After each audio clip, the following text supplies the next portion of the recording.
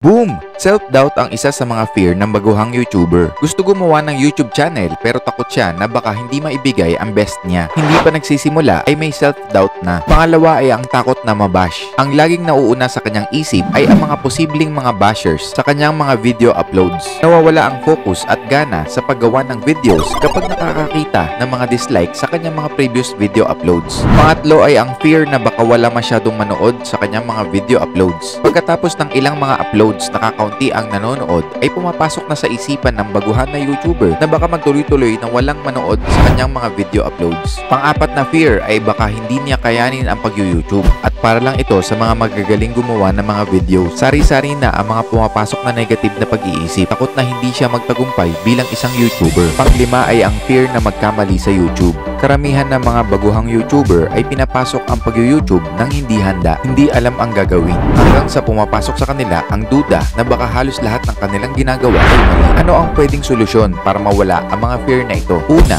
ang kagandahan ng panahon ngayon ay marami ka nang makikita mga YouTube tutorials at tips bago ka magsimula ng iyong YouTube channel. Hindi ka na matatakot magsimula kasi meron ka ng mga guide. Pangalawa, hindi masama mag-practice sa YouTube. Ang mga unang video uploads mo ang magbibigay sa iyo ng mga experiences upang unti-unti kang matuto at gumaling sa paggawa ng mga videos. Pangatlo, tiyaga, tiyaga, tiyaga. Kung hindi nagtiyaga ang mga naglalaki ang mga channels ngayon sa YouTube, malamang hindi nila maaabot ang mga nararating nila ngayon. At kagaya mo, malamang nakaranas din sila ng mga dislikes at bashers pero di nila ito iniintindi. Patuloy pa rin sila sa paggawa ng mga videos. Hanapin mo itong video sa channel na ito para malaman mo ang mga pagkakamali ng mga baguhang YouTubers. See you sa next video!